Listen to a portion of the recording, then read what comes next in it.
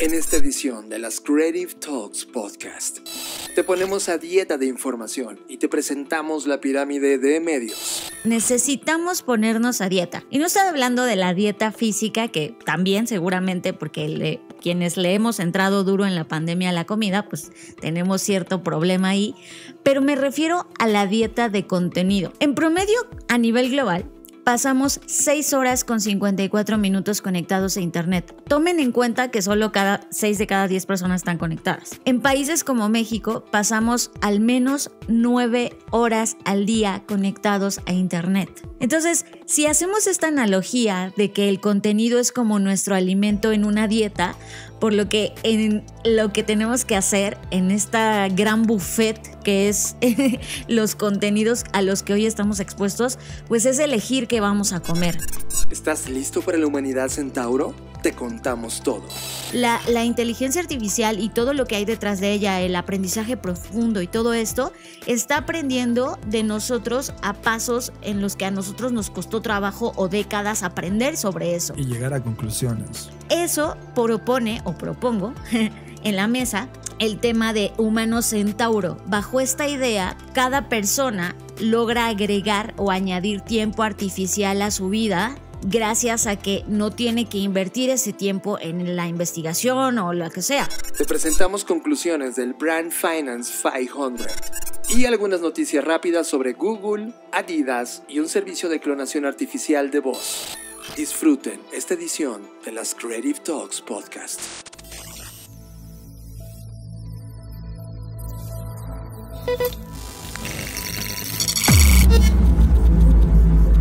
Black Creative Intelligence presenta. Escuchas. Escuchas. Escuchas un podcast de Dixo. Escuchas Creative Talks. Creative Talks. El podcast donde hablamos de creatividad, futuro, innovación, medios, disrupción y emprendimiento. Con Fernanda Rocha y John Black. Por Dixo, la productora de podcast más importante de habla hispana. Por Dixo. Bienvenidos a Creative Talks Podcast, el podcast donde hablamos de creatividad, diseño, negocios, futuros y otras curiosidades que a veces nos topamos en el mundo del Internet. Hoy me es un placer presentar a John Black. Hola, ¿qué tal? Yo soy John Black. Si eres la primera vez que llegas a este podcast, bienvenido. Esperemos que esta sesión que hacemos cada semana de creatividad, innovación, diseño, lo que ya dijo todo Fer, sea tan interesante para ti. Así que Fer, iniciamos. Herramientas, apps, metodologías, ejercicios, herramientas. Tengo que confesarles que tenemos, o no sé si John también, pero tengo un listado en el que voy dejando los temas que no caban en el podcast, porque como ustedes saben, el tiempo es limitado y solo tenemos entre una a una hora y media para poder abordar un montón de cosas que nos topamos semana a semana y por supuesto en ese listado pues se quedan eh, abandonados algunas cosas que son increíbles pero que por falta de tiempo ya no las podemos poner en el podcast ni darle salida en otros medios. Entonces, hoy que estaba haciendo, terminando de hacer la planeación para esta emisión, me dije, me voy a echar un clavado a ese listado y me topé con algo que ya es viejo, es de 2018 y para las velocidades a las que vamos hoy ya esto ya parece como de la prehistoria, pero que me pareció muy valioso, no solo por el tiempo que estamos viviendo, que en el caso de México estamos viviendo tiempos electorales, sino por el tiempo global en general en donde estamos ya con esta super saturación de información en la que incluso estamos padeciendo pues esta ansiedad, este FOMO, este estrés del que hemos hablado en otros episodios de, híjole, no me alcanza la vida para leer todo lo que tengo que ver o para explorar todas las pestañas que tengo abiertas en mi navegador. Y entonces dije, este es el mejor momento. Y de lo que les estoy hablando es de un tema importante. Necesitamos ponernos a dieta. Y no estoy hablando de la dieta física, que también seguramente, porque quienes le hemos entrado duro en la pandemia a la comida, pues tenemos cierto problema ahí, pero me refiero a la dieta de contenido. En promedio, a nivel global, pasamos 6 horas con 54 minutos conectados a Internet. Tomen en cuenta que solo cada 6 de cada 10 personas están conectadas. En países como México pasamos al menos nueve horas al día conectados a Internet. Entonces, si hacemos esta analogía de que el contenido es como nuestro alimento en una dieta, por lo que en lo que tenemos que hacer en esta gran buffet que es los contenidos a los que hoy estamos expuestos, pues es elegir qué vamos a comer. No solamente porque nuestro tiempo es limitado, sino porque al igual que en la nutrición, tenemos que ver qué cosas nos enferman, qué cosas nos hacen daño, qué, qué cosas realmente nos nutren. Y para eso eh, quiero presentarles algo que se llama la pirámide nutricional de consumo de contenido. Ya se suena como que muy rimbombante, pero no es otra cosa más que una pirámide en la cual eh, diferentes investigaciones, y esto lo extraje de un artículo que, escribió una persona en Medium que se hace, es un escritor que se hace eh, llamar, o bueno, su usuario es eh, Faris. Y bueno, él lo que dice a través de ciertas investigaciones logró extraer y sintetizarlo en esta pirámide y es una sugerencia de cómo deberíamos alimentarnos en nivel de contenido, donde la base de la pirámide, imagínense una pirámide. A ver, a John, ¿quieres decir algo? Sí, yo creo que vamos a repasar la pirámide de abajo hacia arriba. Exacto. Y sobre todo porque este gráfico de Faris, que fue creado en el 2018, o sea, ya tiene una, una distancia de cuatro años casi. Entonces ha, cambiado como que el, el, esquema de logotipos. Y me gustaría saber, Fer, en la base también, no solamente los medios que Faris dice que son los básicos, sino los que tú utilizas. Sí, que ojo, aquí quiero, es que bueno que lo pones como una observación, John.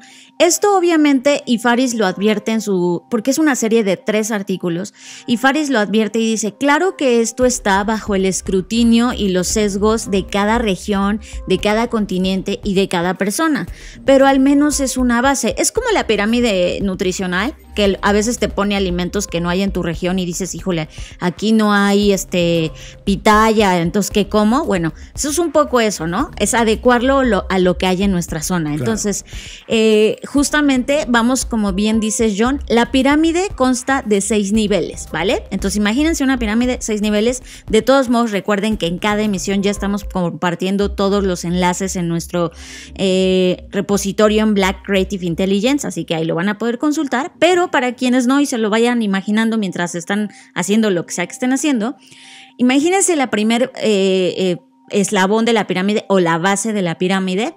Ahí está todo lo relacionado a actualización. Eso es como lo bueno, lo que sí deberíamos consumir en mayor cantidad. Y aquí entran libros, arte, cosas de teatro, cosas que te sorprenden, ¿no? Que te sacan como de tu zona de confort y te llevan sobre todo a romper los límites y aprender más cosas. Entonces ahí está todo eso y eso es como, eso es lo que más deberíamos comer o consumir. La parte de la actualización. Ahora, ¿qué, qué tú estás consumiendo en esa pirámide, en esa base de la pirámide? Pues mira, yo para llegar a este nivel me siento muy orgullosa de mí y muy contenta porque he estado haciendo una curaduría, incluso programé, o sea, vean mi nivel ya de nerdez, programé una hoja de cálculo en Google Sheets en la cual por temática y por medio es, me llegan ahí contenidos. Entonces, ¿qué contenidos? Ahorita estoy muy clavada en Medium muy clavada en ciertos newsletters que son de mi interés y que me curan contenido tanto de tendencias como de algunas señales o agentes de cambio que están ocurriendo ahora mismo. Sobre todo eh, me estoy enfocando mucho en temas de el uso de la tecnología, uso y aplicación de la tecnología y entonces estoy muy, mucho ahí, por eso este, me llegan cosas de TechCrunch, por supuesto, de Futurism, de Fast Company, y esa es como mi base y ahí es donde está mi Flipboard y todo lo que curo en Flipboard. Creo que tú mencionas muy claro una, una herramienta que tenemos en común. Yo también soy de Flipboard eh, de hecho, en mi time consuming es como la plataforma que más horas le dedico al día a leer cosas, porque es un algoritmo que cura información de acuerdo a tu perfil, pero dentro de Fleetboard también evidentemente la segunda es Medium. En Medium está ocurriendo eh, una, explosión de personas que están compartiendo contenidos de altísimo nivel y de muy temprano, o sea, son contenidos que que, que tres o cuatro años se vuelven este, pues ya tema en los medios tradicionales, porque desde ahí se abordan, o sea, los creadores, los CEOs, la gente que está metido en el mundo de la innovación está escribiendo activamente en Medium. Eh, demasiados libros, Fer, ahí pondría todos los libros que leemos. ya Ah, sea- bueno, sí, sí. Recientemente estoy leyendo, by the way, el libro de Alien Thinking o Pensamiento Alien, que está súper bueno y es uno de los que voy a reseñar para la BCI, entonces lo metería ahí porque es- está ahorita en mi lista actual. Y ahorita yo estoy terminando el de Range, que también va a estar ya al menos una semana en la BCI. Eh, las revistas, o sea, las revistas Ah, digitales, claro, por tenemos una suscripción a, a la gran mayoría, pero las vemos digitalmente y las revistas son un... Sobre todo, piensa que tanto los libros como las revistas, para que se pudieran hacer, tuvieron que pasar a su vez por un filtro editorial. Es decir, un grupo de seres humanos ya hicieron este ejercicio de curación por ti y te presentaron en una edición lo que ellos pensaban que era más relevante dependiendo si estás interesado en una revista de negocios o una de tecnología. Por lo tanto, las revistas siguen siendo muy importantes. Cine y teatro. O sea, eh, eh, estamos viendo cine desde el punto de vista de los temas que nos interesan y el teatro que es algo que hemos extrañado. O sea, la última, la última puesta en escena que fuimos eh, tenía que ver todo con las decisiones de la vida que estábamos tomando. También se convierte en una fuente. Y finalmente, así como tú, yo no tengo una curación de ligas y medios tan sofisticada como tú, pero tengo toda una liga, eh, de, de- una colección curada por mí. Algunos medios ya se fueron, o sea, murieron en la pandemia, otros siguen vivos, pero de ahí saco contenidos. Y finalmente dos, que no están en, en la escala que él escribió Faris. Él la ve como consumo y ahorita vamos a llegar a ese nivel, pero yo la veo como herramienta prima. O sea, yo sí en Twitter, sí personas muy puntuales me otorgan contenidos que yo digo, wow, él lo está viendo porque está, es el director de la NASA y habló de tal cosa y todavía eso no llega a ningún medio de comunicación excepto lo que él está compartiendo. Entonces Twitter y LinkedIn se convirtieron también en la fase de actualización base para mí. Ah, muy interesante. Ahora, vamos a la siguiente, al siguiente nivel, al siguiente Segundo eslabón. nivel. De- recuerden que estamos de abajo para arriba.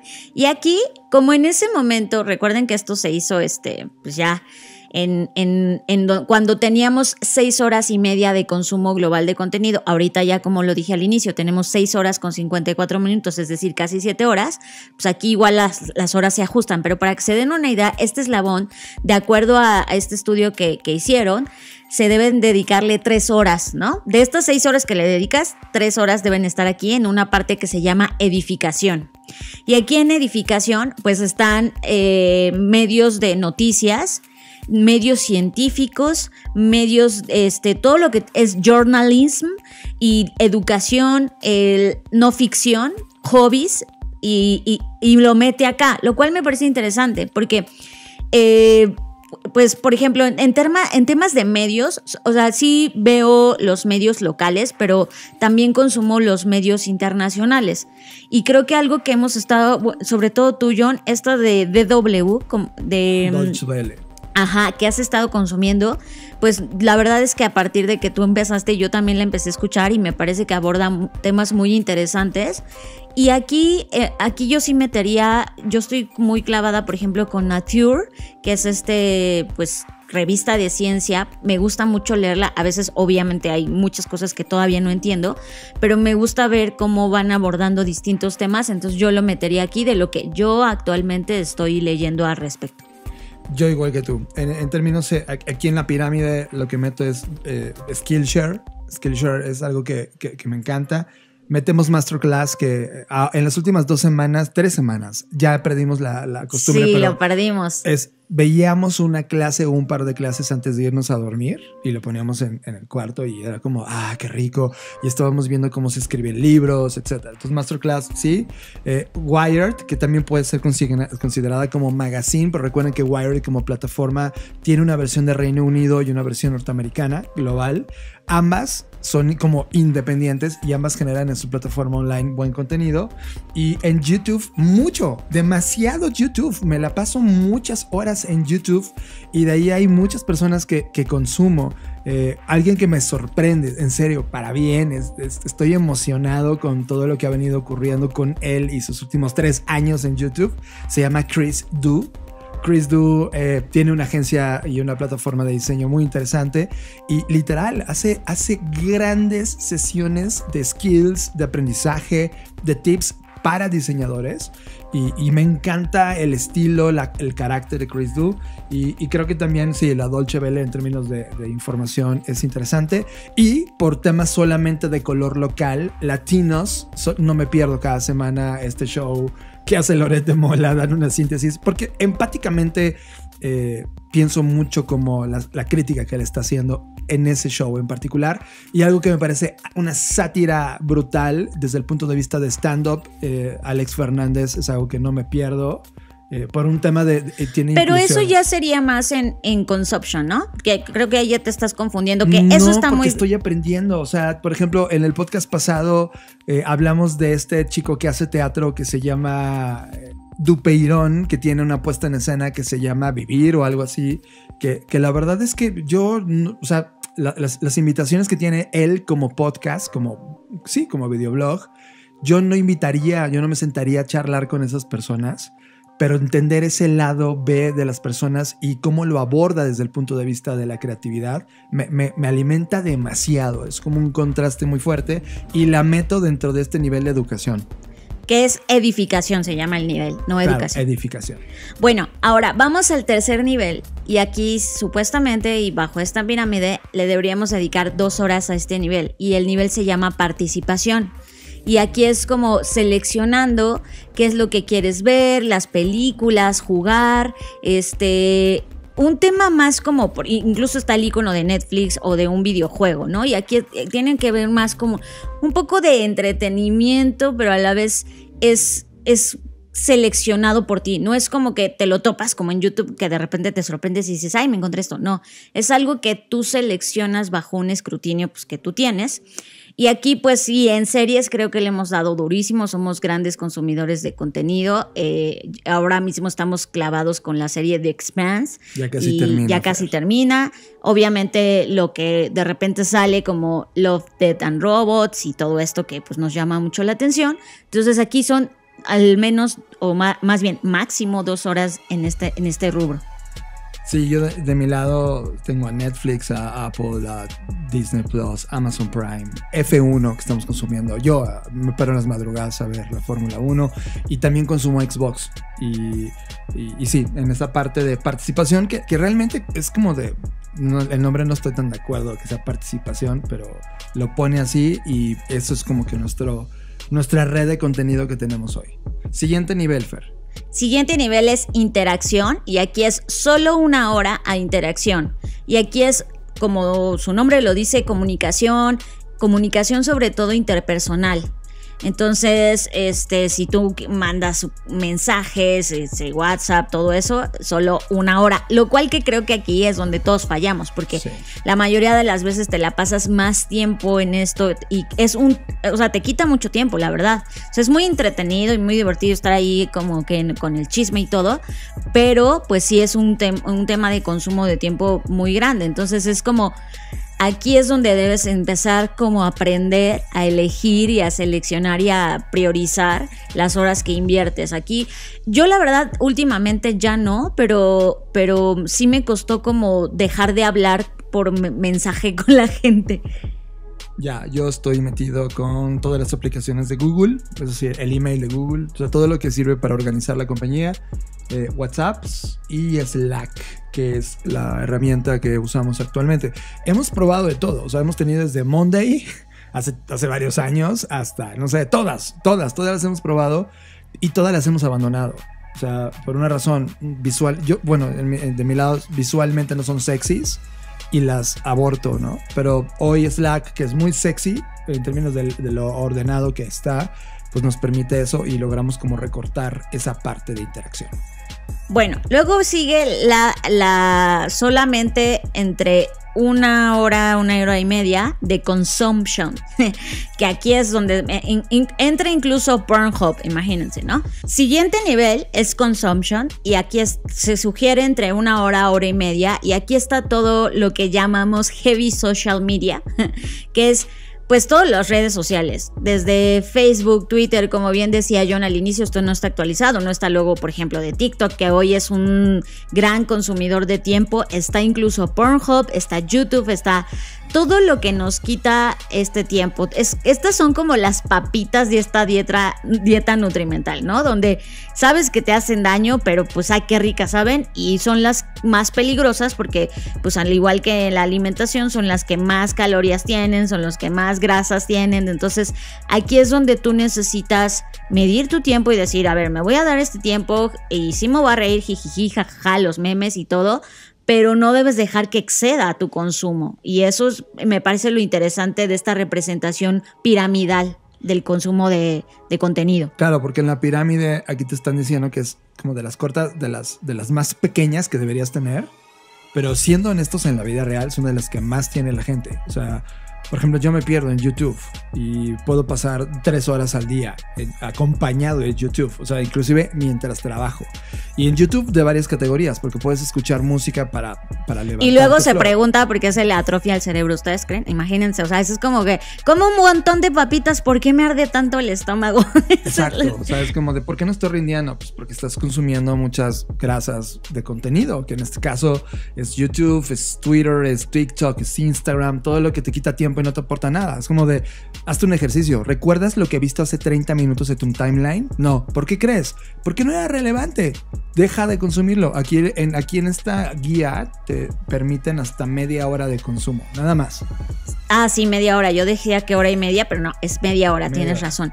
Y finalmente, en el top, top, top de la pirámide está todo aquello que le llamamos hoy infoxicación, ¿no? O infodemia y todos estos nuevos conceptos, que es todo aquello que de verdad no solamente te hace, te hace daño, sino que, o sea, atenta contra tu, tu vida, casi, casi, ¿no? Y en este tema, tu vida digital. Es todo aquellos lugares de noticias falsas, de contenido que sabes que pues no va a ir a ningún lado, que solo está promoviendo ciertas ideologías, que incluso promueven la violencia. O sea, todas esas cosas que ya de verdad son dañinas nivel rojo. Por eso está, está en la pirámide mostrado de ese color. Y, claro, ¿no? Como dices, John, e, estos, estos últimos tres eslabones o más bien escalones de la pirámide son los en los que hay que poner cuidado, porque lo que narra este chico a lo largo de los tres este, artículos que hizo es que en realidad nosotros consumimos el contenido al revés. Es decir, lo que está en rojo y que está en piquito hasta arriba es lo que más consume la gente.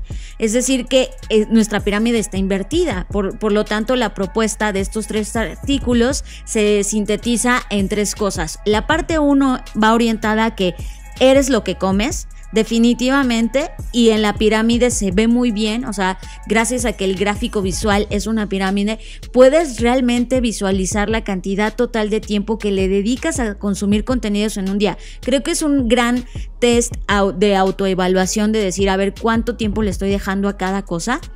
La parte número dos se concentra en cómo equilibrar tu dieta mediática. Y aquí me quiero detener tantito porque esto es algo que nos pasa a todos. Y él empieza con el título de Tenemos hambre, hambre de ideas. Y sí es cierto, es un aspecto que nos define como humanidad es que estamos impulsados, alimentados, guiados por dos cosas, ideas y alimentos. Pero de hecho, las ideas pueden ser tan grandes impulsores, más poderosos que la comida, porque estamos dispuestos a renunciar a la comida solo por ideas abstractas que tenemos. Y eso me parece magnífico. Y, cita algo que Yuval Noah Harari dice en su libro de Sapiens, nunca, nunca podrás convencer a un bono de que te dé un plátano prometiéndole plátanos ilimitados después de la muerte en el cielo de los monos, ¿no? Y es como esto confirma que nuestra hambre es, es anterior a nuestra condición actual. Es decir, nosotros antes de los medios ya teníamos hambre de contenido, hambre de ideas. Y ahora que se nos puso literalmente un buffet en donde te puedes atascar de estos contenidos, pues somos una persona que no nos sabemos controlar y ahí estamos como atascándonos, como el, el, se me viene a la en la cabeza la imagen de cuando Bruce en Matilda se come el pastel de chocolate, así. somos el Bruce de estos contenidos. Entonces, tenemos dificultades para controlarnos ante la abundancia, eso es un hecho, y esto se cruza perfectamente con el modelo de negocio de la economía de la atención, entonces no juega a nuestro favor. Por lo tanto, debemos hacernos conscientes de lo que está en el buffet para entonces poder comer lo que realmente nos nutre. Y finalmente, la parte 3 es ¿por qué nos gustan las cosas que son malas para nosotros? Y esto creo que a todos nos pasa. Y pone una teoría que le llama la teoría del cheesecake, que es el cheesecake no existe en la naturaleza. El cheesecake es algo que presiona muchos de nuestros botones al mismo tiempo, haciéndonos... Eh, sentir que es delicioso. Aprieta nuestro botón del placer, aprieta nuestro botón del azúcar, aprieta nuestro botón de la suavidad, aprieta nuestro botón, hasta estoy salivando mientras les estoy diciendo, ¿no? De, los sabores, del fruto seco, de lo que sea que esté hecho, y nos parece un golpe tan sensual que, que, que sentimos que esta es una megadosis de estímulos agradables, que además está diseñado por el ser humano. Eso mismo pasa con el algoritmo y el suministro de noticias y contenido digital es un gran cheesecake que aprieta tantos de nuestros botones, es decir, nos hace sentir información, entretenimiento, confusión, indignación, enojo, coraje y tristeza, que nos hace sentir tan bien como este gran cheesecake. La idea es que no puedes comer cheesecake todos los días, toda tu vida, porque vas a morir de un infarto. Entonces, eso es exactamente lo mismo que pasa con, con la nutrición y creo que es un gran momento para recordarlo, para reflexionarlo, para hacer, como dije anteriormente, una autoevaluación de hacia dónde estamos enfocando nuestro tiempo y cómo nos estamos nutriendo con el contenido que está disponible a nuestro alcance. Estás escuchando Creative Talks Podcast. Ahora, esto que voy a decir está totalmente enlazado con lo que acabamos de mencionar. Ante esta gran invasión, ya ni siquiera es exposición, sino invasión de contenido que tenemos hoy en día, pues está creciendo nuestra ansiedad y desconfianza del consumo de contenido. Es decir, como nos da ansiedad de no poder comer tanto y al mismo tiempo sufrimos y nos da desconfianza porque ya no sabemos qué contenido es el bueno.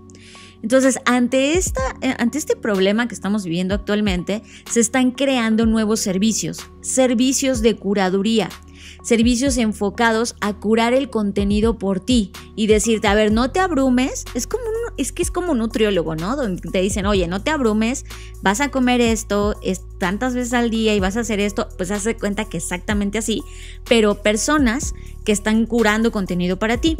El caso particular del que les quiero hablar se llama Inexplorato y ellos lo que hacen es venden curaduría del conocimiento. Esa es su, su, propuesta de valor. Y lo que hacen es ayudar a las personas y a las compañías a analizar el contenido disponible de una manera más crítica. Su producto más valioso, o al menos el que más llamó mi atención y al que realmente sí me quisiera suscribir, es una caja curada. Lo que, lo que hacen es, te entrevistan Pasan horas, de hecho, entrevistándote sobre el trabajo, sobre tu vida, tu familia, sobre el amor, sobre todos los temas que son relevantes para ti. Y entonces los curadores del conocimiento, que así se hacen llamar, tardan alrededor de un, un, mes y medio en armarte una caja de madera única en la que vas a encontrar cosas que no sabes que no sabes. Y esto me encanta cosas que no sabes que no sabes. Es decir, no son cosas que resuenan con tu cámara de eco, no son cosas que tú ya conoces, son cosas que rompen con esos esquemas. Y la caja contiene libros que debes leer, películas, documentales, revistas, artículos. Cada, cada una de estas piezas tiene una nota escrita a mano con explicaciones y preguntas sobre por qué te puede ayudar ese contenido y me encanta que existe este tipo de servicios. Sé que no es lo, lo, masivo, por supuesto me queda claro que no, porque para eso están los medios masivos, pero me parece muy bueno que entre este mar de contenidos estén surgiendo este tipo de servicios que curan contenido, lo procesan, te ayudan a entenderlo mejor y además te ayudan a aprender cosas más allá de tu zona de confort. Creo que está buenísimo porque esto es como el Fleetboard que yo ya utilizo y que platicamos de él que estaba en la base de nuestra pirámide, pero llevado al mundo analógico. Y de repente es como decir, güey, mi vida es 100% digital, güey. O sea, todos los contenidos que, que, que, tengo son en pantalla en un, ¿qué? 90%. Y de repente es como, oye, ¿y por qué no vuelves a tocar un libro físicamente? ¿Por qué no eh, sales a resolver un crucigrama diseñado para poder potenciar tus ideas. Son, son cosas analógicas que sinceramente ya habíamos perdido por esta por este tema de estar todo el tiempo conectados y me late. Además es una compañía brasileña, lo cual... Sí, eso celebro, también está padrísimo. Porque es- habla de que en América Latina están sucediendo también momentos de curación y de creatividad sumamente interesantes. Y lo aplaudo porque eh, en verdad es... A mí me sorprendería que me llegara una vez cada tres meses, ¿no?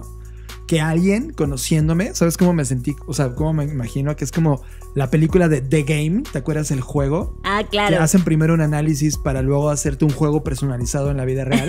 Esto es muy parecido, es como te hacen todo un análisis para que el otro especialista de conocimiento entienda quién eres, cuáles son tus gustos y entonces él, al haber explorado, al haber dedicado el tiempo para capturar contenidos eh, inusuales y de alto valor, te entregue esta cosa física. Me, me gusta mucho. ¿Cuál es la página? Inexplorato, como supongo que en español es inexplorado, pero esto está en portugués. Inexplorato. punto- ahora te digo. Punto com punto .br Ándale. de Brasil. In- inexplorado.com.br. Ay, qué padre. Pues ahí está. Creo que esto es una propuesta y también si tú estás pensando como de, ay, quiero eh, emprender y no sé en dónde, aquí hay un área de oportunidad, me parece muy buena, muy de nicho, pero muy padre, ¿no? Que, que eh, valdría la pena explorar. Entonces, creo que este tipo de servicios de curaduría, en donde, por ejemplo, la Black Creative Intelligence en, en muchos sentidos es esto, ¿no? Es eso. donde nosotros cada que vamos a hacer un artículo, aunque sea de 10 párrafos, la verdad es que invertimos un montón de horas de tiempo, de experiencia en sintetizar ese contenido. Entonces, de alguna forma u otra, les curamos y les ahorramos todo ese tiempo a las personas que solo eh, pues se sientan a leer la síntesis de todo ese proceso dialéctico. Estamos destilando contenidos. O sea, en la Black Creative Intelligence vas y tomas buenos vinos, buenas destilaciones y no cervezas baratas. Tema de la semana. Este es el tema que nos robó totalmente la atención. Tema de la semana.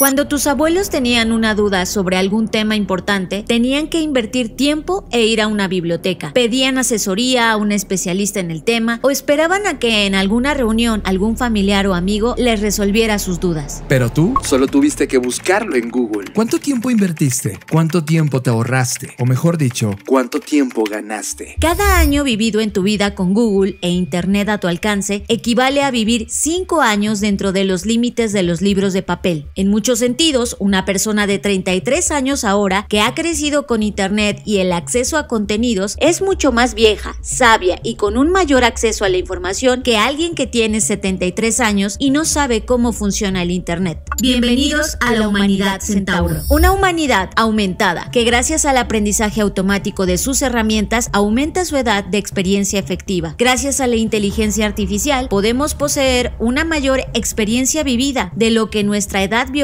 sugiere. Una especie de experiencia protésica en donde la inteligencia artificial es una extensión más de nuestro tiempo que de nuestra inteligencia. Lo que todo esto significa es que las inteligencias artificiales ya están detectando, registrando, generando y digiriendo la historia a un ritmo de décadas o siglos por semana. Lo interesante es cómo vamos a conectar todo este tiempo artificial a nuestros propios cerebros y cómo eso nos va a convertir en dioses antiguos de nosotros mismos. No estás viviendo como testigo del surgimiento de la hiperinteligencia artificial. Vives como un humano que será posiblemente aumentado por los años datos. Estás viviendo el final de la historia y entrando en una hiperhistoria creada por máquinas. ¿Estás listo para esta nueva era de la humanidad Centauro? Para más información visita blackci.rocks. Esto fue Desde el futuro, la sección de Así las cosas en donde nos preguntamos qué pasaría si. Nos vemos en el futuro.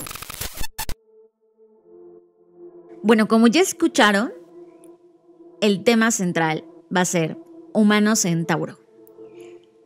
Y esto de verdad es una locura, es algo que, por cierto, y por supuesto escribimos para la Black Creative Intelligence.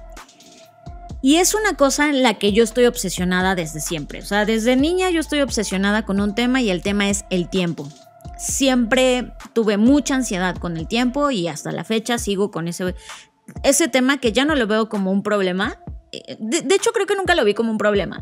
A veces sí me causó ansiedad, tengo que aceptarlo, pero nunca lo vi realmente como un problema, sino como algo que me inquietaba. Y esta inquietud me llevó a pensar lo siguiente.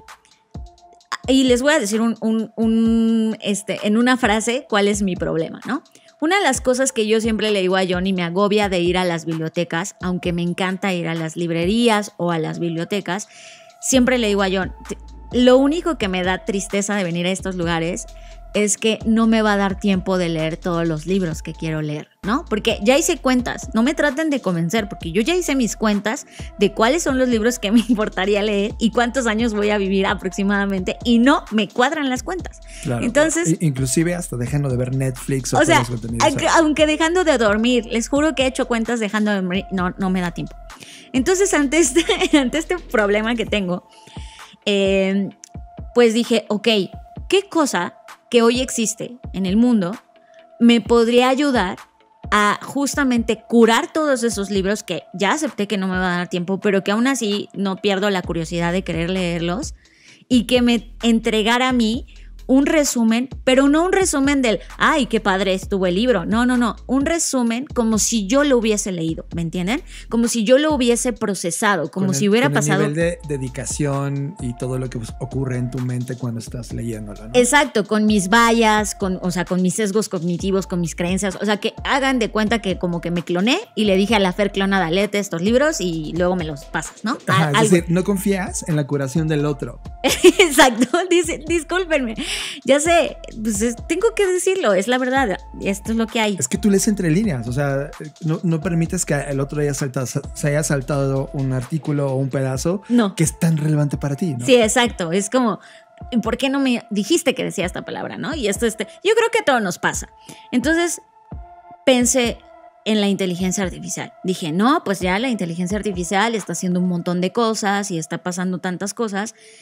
Y pensé, claro, y ahí me cayó como un momento eureka en donde dije, por supuesto, la inteligencia artificial no nos está ganando o nos está haciendo ser más inteligentes no- lo que la inteligencia artificial y su verdadero aporte nos va a, a heredar es la herencia de tiempo artificial. Y aquí es donde quiero ahora sí profundizar en este artículo y sobre, o sea, sobre cómo se extiende este concepto de tiempo artificial. Piénsenlo así.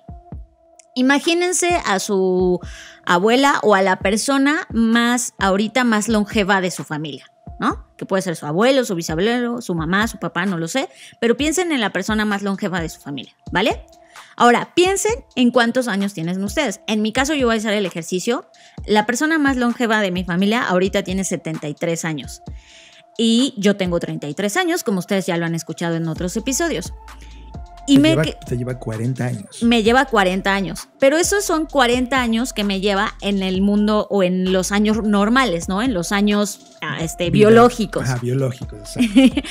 Pero en los años datos, y aquí es donde empezamos a entrar con diferentes eh, conceptos o propuestas de concepto, es en los años datos, yo le llevo a ella más tiempo. Es, podría yo ser más longeva que ella incluso. Incluso haciendo una equiparación de que cada año vivido equivaldría a cinco años datos de acuerdo a mi ritmo de consumo de contenidos, eso significa que yo le llevo cinco veces más años a ella, aunque biológicamente yo soy más joven. ¿Se dan cuenta? Y esto no es porque no tiene que ver con el coeficiente intelectual, que eso podría ser una variable, sí, pero imaginemos que no. Imaginemos que tenemos el mismo coeficiente. El tema es que yo he tenido desde los noventas para acá acceso a Internet. Y ese acceso a Internet yo, en mi caso personal, lo he sobreexplotado. El consumo de contenido que tengo yo es un, contenido en el, que yo he leído y devorado y, he hecho mil cosas con, con, ese contenido. Por lo tanto, mi proceso de síntesis se ha acelerado si lo comparo con el de ella, que... Eh, que fue solamente a cierto nivel de educación, que nunca tuvo realmente acceso a Internet, que su acceso a Internet apenas está haciendo los últimos dos años, etcétera. Eh, sé que es injusto en cierta medida, pero estoy haciendo la comparación para que vean cómo es que hemos ganado tiempos en años datos. Es que justamente, o sea, una de las conversaciones es el analfabetismo y el acceso a plataformas como Internet, ¿no? Que en términos políticos ya todo el mundo lo entiende y más o menos dices, ah, bueno, pues no tienes acceso, ponles Internet. Y es, eso no resuelve el problema, es cómo los ayudas a entender y incorporar en la vida de las personas a Internet.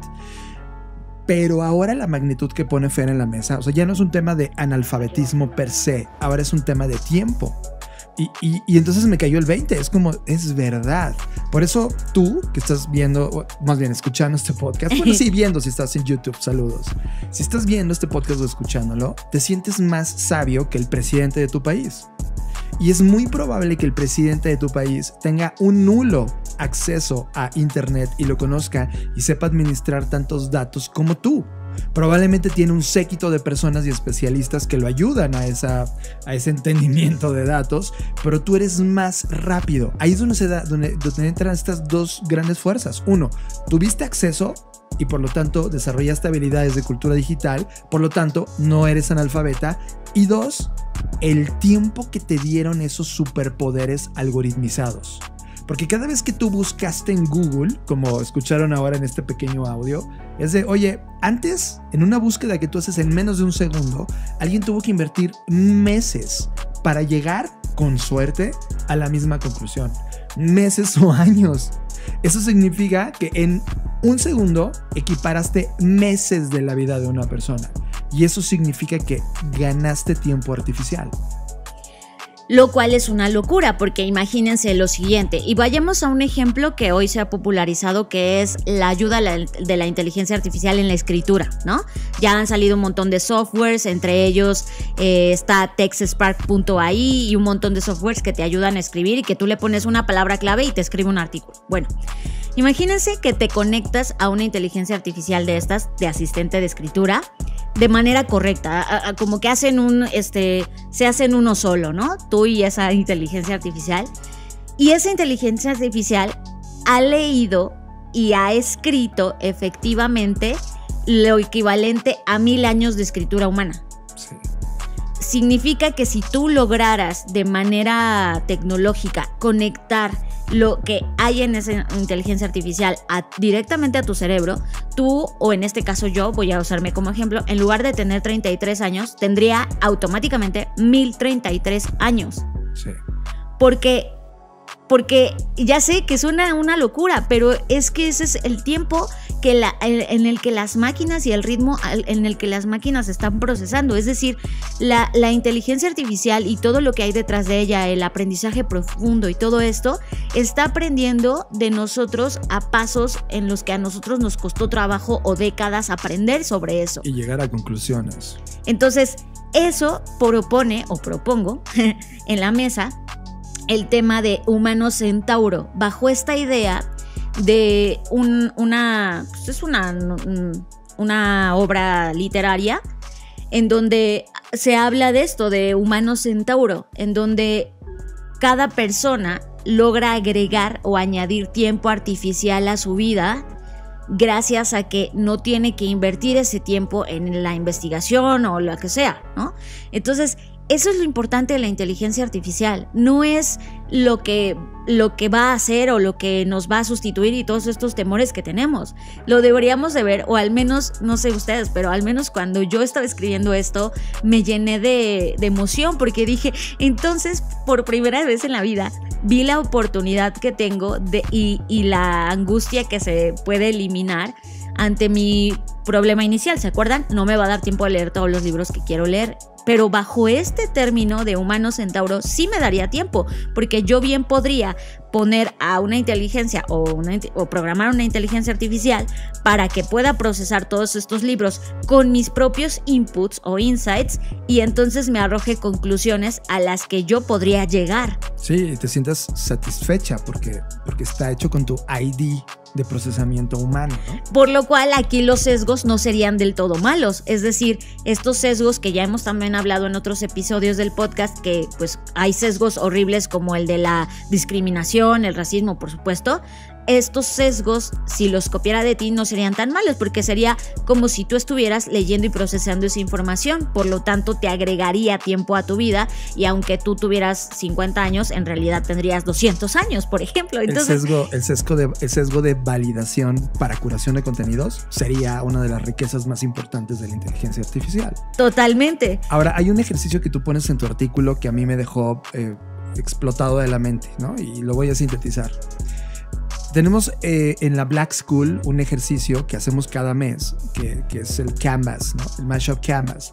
Y ponemos el ejercicio de cómo diseñar el auto que Apple está construyendo ahora mismo. Y uno de los grandes problemas que se resuelven en esa sesión es cómo ven los autos, ¿no? Porque tú cuando manejas un auto, pues tú tienes el control, tus ojos son la interfase de entrada de los datos y tú como máquina biológica tomas las decisiones con base en la data que tienes y entró en tus autos, en tus ojos. Pero un auto que se conduce solo, solo no tiene ojos, o sea, tus ojos ya no están. Ya se diste ese control. Por lo tanto, los autos de nueva generación necesitan ojos. Entonces, los ojos, ya sea un, un ojo mecánico como una webcam que está viendo como tú, pero también hay otro tipo de tecnologías infrarroja de datos, LiDAR, etcétera, ¿no? Todos estos ojos, imagínate 2040, cuando estemos al 50% de todos los autos ya en la calle son digitales, eh, con inteligencia artificial y eléctricos. Imagínate en un día la data que es capaz esos ojos de leer y entender. En un día pueden igualar a todo lo que los humanos hemos manejado en toda la historia de la humanidad. Por lo tanto, en un día, esa inteligencia artificial puede igualar el conocimiento de conducción humana y mejorarla a partir del segundo día. Eso me lleva a preguntarme, wow, ¿Cómo va a ser la competencia mañana de la Fórmula 1 en el 2040? Porque nos va a ganar tiempo en ciertas habilidades y te va a dar tiempo de desarrollar o utilizar ese tiempo artificial en otras cosas. Porque estos algoritmos van a llegar a conclusiones que nos habían tardado décadas, siglos o generaciones entender y ellos van a llegar a conclusiones tremendamente puntuales. Y eso significa que la humanidad tiene de dos. O aceptar esta colaboración, es como de wow, los datos que me están entregando son moralmente eh, sin problema porque es dato duro. Más bien éticamente, ¿no? Éticamente, sí. Y es como, ni modo, hay que aplicarlos. E, esto está diciendo de resultado. Cualquier otra, otra decisión sería equivocada. ¿Eso cómo lo vamos a manejar? Y, y la pregunta que tú haces es, ¿estamos listos para que la humanidad pueda asimilar el tiempo artificial que ha ganado? Y sí, justo eso, por eso esa es la pregunta de cierre, porque por un lado, vean cómo empezamos a hablar en el primer tema sobre esta ingesta de contenido, ¿no? Y el time consuming que eso, o el tiempo consumido que eso nos quita o nos demanda. Y yo ahora les estoy hablando de otra, otra este, tesis, ¿no? O más bien otra hipótesis, en donde les estoy diciendo, vamos a ganar tiempo ¿De qué depende que se vea como una pérdida de tiempo o como una ganancia de tiempo? De nosotros mismos y nuestros hábitos de consumo. Estamos, o sea, yo no sé si lo logran ver, pero estamos teniendo la mejor herramienta. Es como si estuviéramos ganando la perpetuidad. O sea, es decir, esto es tan importante como la muerte de la muerte. Si bien biológicamente vamos a seguir envejeciendo, al menos con lo que hoy sabemos y la tecnología disponible hasta el momento, puedes ir creciendo tu edad, es, envejeciendo de otras formas artificiales con la información que las inteligencias artificiales brindan o te den para, para, para, procesar. Es decir, eso, eso me parece maravilloso porque le suma tiempo a tu vida, aunque no biológicamente, pero sí en conocimiento, sí en experiencia, sí en, en, en datos que eso puede representar nuevos puntos de conexión para tus procesos creativos. A eso es a lo que quiero llegar. Estos años datos, así como tenemos la equivalencia de los años perro, ¿no? De que los perros, cada año que el perro vive equivale a X años humanos. Bueno, pues ahora véanlo en los años datos. ¿Cuántos años datos tienes ahora? Brutal esa pregunta. Y Fer, ¿sabes? Yo, yo lo entiendo así. Hay dos caminos que el mundo va a experimentar. Camino número uno es, ay, se va a dar cuenta que las redes sociales eran equivocadas y que los datos que le están dando es demasiado y que ahora los datos entre compañías y el intercambio con el gobierno es una exageración y van a estar en contra. O sea, van a hacer movimientos afuera, van a estar criticando evidentemente, van a tratar de regularlo y que sea más transparente. Esa puede ser la victoria más importante de ese camino. O el segundo camino, que es inevitable. Es como de, Güey, ya llevamos dos décadas y media de esa realidad. Es decir, apenas está dando cuenta dos décadas y media después de que esto está ocurriendo, ok, ya va súper tarde. Y entonces en lugar de estar en, fricción contra ese, esa tesis y antítesis, ahora lo trasciendes. y trascenderlo es decir, bueno, vale, de todo este escenario que es inevitable y que la verdad voy a perder tiempo estando en contra, ¿qué cosas están a favor?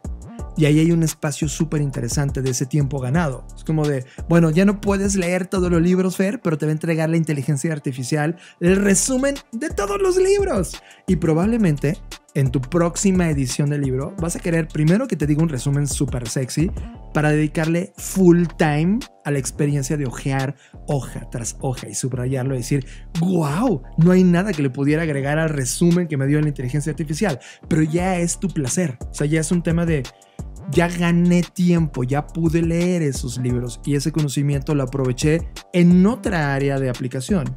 Y eso es justamente como que la bondad que alcanzo a ver de cuánto tiempo estamos ganando ahora, cuánto tiempo artificial nos está entregando la inteligencia artificial. Si ese tiempo lo ocupas para comer sabritas intelectuales, ah, entonces sí está mal. O sea, sí, el mundo se puede ir ah, muy mal.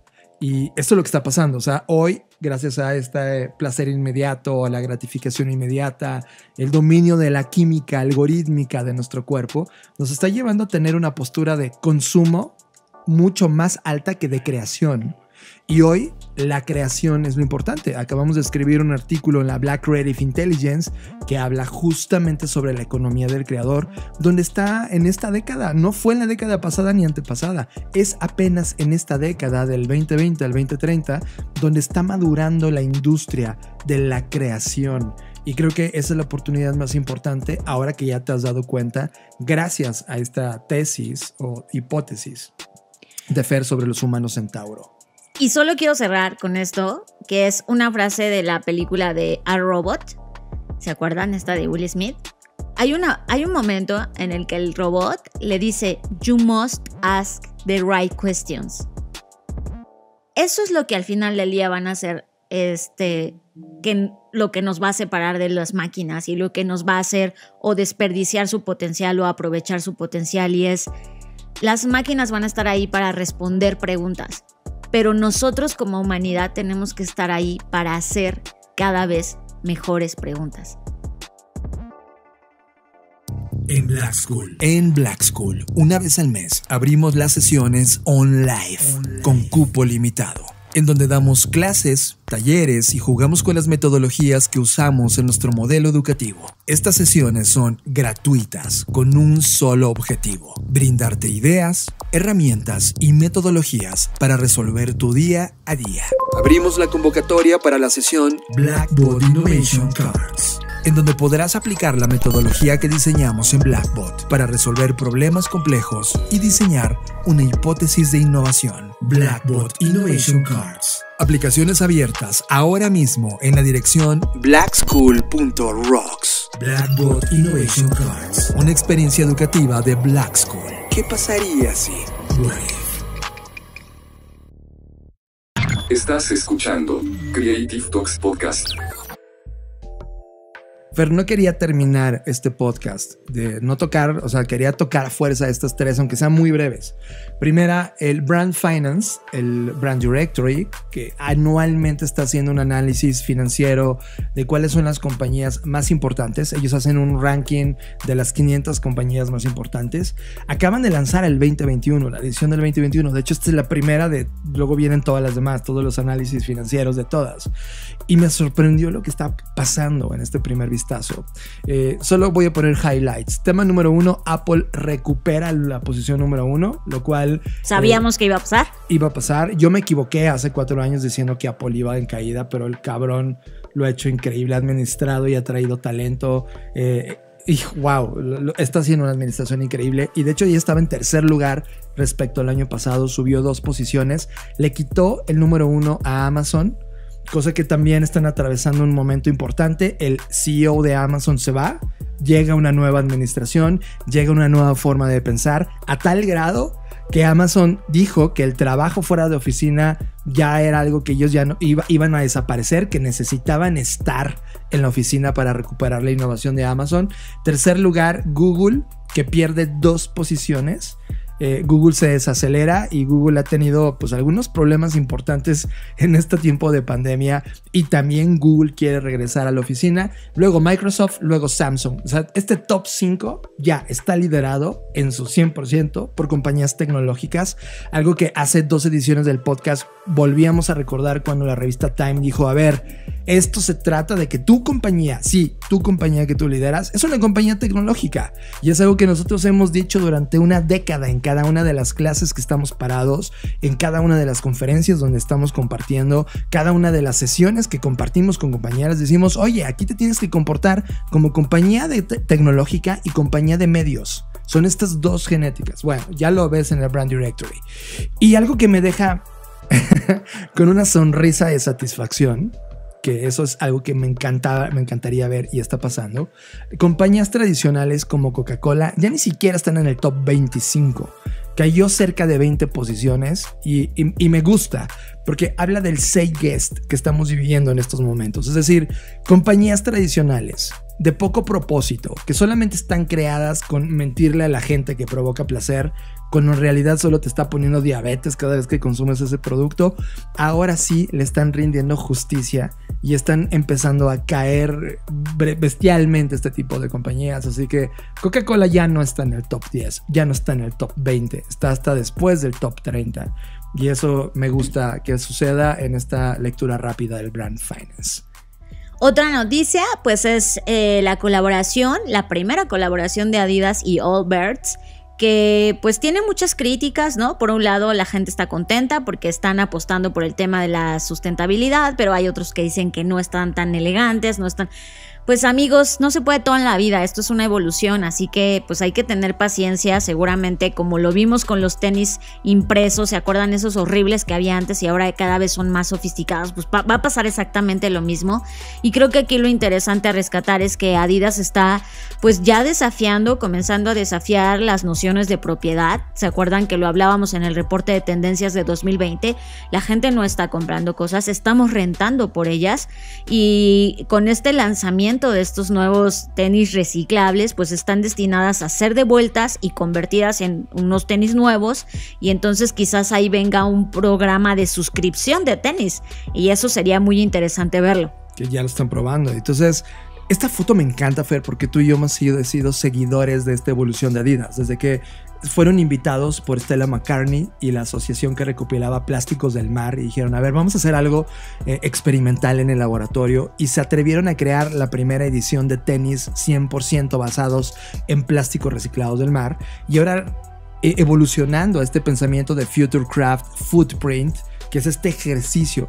Claro, el mundo que está parado en la moda es como, ay, están horribles, ay, son muy simples, ay, en esto es porquería, ¿no? Es como, ok, nos vemos en cinco años. Recuerden que la industria de la innovación es el primer salto que das, tu MVP, tu Minimal Viable Product o tu primer concepto que estás lanzando. Claro que no tiene todos los procesos perfeccionados, pero el hecho de que están rompiendo ellos el estándar y reduciendo hasta 63% la emisión de, las emisiones de carbono, significa que lo lograron. Es como la industria de la moda tiene hoy a través del calzado el primer golpe en la mesa oficial de que podemos cambiar esto y esta contaminación que estamos creando en el planeta por usar nuestros, nuestros artículos de, de, ropa y tenis. Y eso me gusta, ese statement está creado y creo que esto no va a parar y esto va a seguir evolucionando a ritmos impresionantes. Y por último, pues una noticia de Google que anunció que pues esta cosa como mágica que solo veíamos en películas de ciencia ficción, pues ahora ya se está haciendo cada vez más real y es tener una representación holográfica, por llamarlo de alguna forma, de una persona como si estuviera ahí. ¿No? ¿Se acuerdan que esto lo veíamos en diferentes películas? Bueno, pues Google ya lanza este proyecto en el que dice que, que, lo va a lograr, que ya está, que esto se va a poner tarde o temprano a disposición de cualquier persona. Claro que ahora mismo este proyecto, el Project Starline, pues está obviamente como todos los proyectos que comienzan en el laboratorio en pruebas, pero esta es una tecnología pues virtual realista sobre de imágenes 3D para tener sesiones virtuales y ahora sí quizás terminar de borrar estas eh, pues líneas entre el trabajo remoto y la diferencia de estar a distancia y, estar físicamente en un lugar. Eso me, me, lleva a una historia que ya conté en este podcast cuando Intel nos hizo en vivo en la Universidad Nacional Autónoma de México un ejercicio de colaboración remota donde tú podías poder jugar con la materia y afectarlo en el proyecto de diseño. O sea, este es el salto a esa, realidad que vimos hace más de 20 años.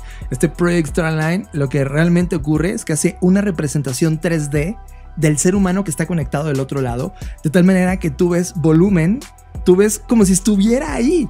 Esto es un salto increíble. Yo no sé si ustedes están emocionados, pero esto significa que se ha roto la barrera de la distancia y estamos, y seguramente lo vamos a ver a lo largo de esta década, cómo vamos a madurar en esa colaboración. Ya no va a ser a través de Mural o de Miro, que son representaciones 2D, 2D gráficas de colaboración. Ahora vamos a decir, oye, vas a poder jugar como, como si fuera plastilina y del otro lado poder sentirla y afectarla y recrearla y impresionantes los, los, alcances de este salto de Google.